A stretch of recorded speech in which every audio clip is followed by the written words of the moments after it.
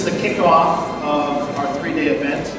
Incredibly grateful to our, our host, Evans Randall and IVG. We're looking forward to, to meeting more of you and to speaking and enjoying these fantabulous buildings. Thank you very much.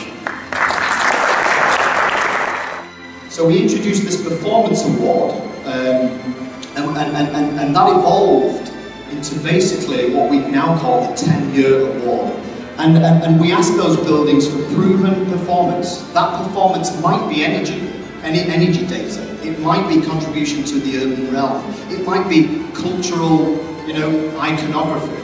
The, the winner of the 10-year award is.